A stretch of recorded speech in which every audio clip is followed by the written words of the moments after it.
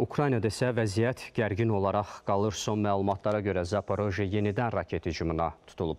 Ölkədə enerji böhranı da sürür. İndi Kiyevə bağlanırıq. Müharibənin bu günü baş verənləri xüsusi müxbirimiz Amal Alışarı bizə çatdıracaq. Amal, axşamınız xeyir olsun. Son xəbərləri sizdən eşidək. Buyurun.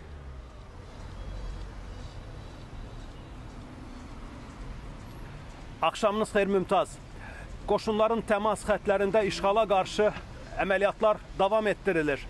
Zaporojye administrasiyasının rəhbəri İvan Fedorov deyir ki, bugün vilayətdəki Rusiya hərbi mövqelərinin bir neçəsində güclü partlayışlar meydana gəldi. Rusiya tərəfi hələ ki açıqlama vermir. Ukrayna Silahlı Qüvvələrinin Cənub komandanlığı isə bildirir ki, Zaporojye vilayətinin Novodarivka və Dorojnyanka kəndlərində nəzarət bərpa edildi.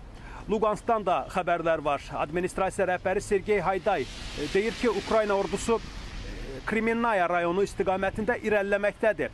Əməliyyatlar başa çatan zaman Donbas üzrə e, ordu qərərgahı lazımi açıqlamanı verəcək.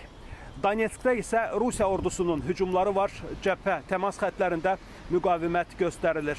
Rusiya ordusu artıq 6 aydan çoxdur ki, Donetskin Baxmut rayonunu ələ keçirməyə çalışır. Hələ ki, müvəffəq ola bilmir. Donbasdakı proseslərə prezident ofisindən Mikhail Podolyak münasibət bildirdi. Dedi, Baxmut prinsipcə Donbasın ən kiçik rayonlarından biridir. Ukrayna üçün də, qarşı tərəf üçün də ciddi strateji logistik əhəmiyyət daşımır. Amma hazırda Rusiya ordusu ən kiçik kəndi belə ələ keçirməyə hazırdır ki, e, bunu daxili auditoriyaya uğur kimi təqdim edə bilsin. Padalyak dedi, bizim fikrimizcə Rusiya dövləti Baxmutu, Donetski, Donbası unutsun, tribunala hazırlaşsın. Paytaxtda isə hərbi vəziyyət nəzarət altındadır. Günorta Kiyevdə həyəcan siqnalı verildi. Belarusda Rusiya ordusunun topladığı qırıcı təyyarələr hər dəfə havalananda paytaxt buna həyəcan siqnalı ilə reaksiya verir. Bugün üçün konkret hücum faktı yoxdur.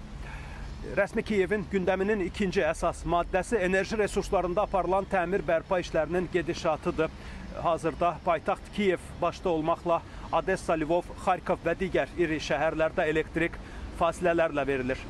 Su və istilik təchizatında isə durum işığa nisbətən e, qənaətbəxşdir.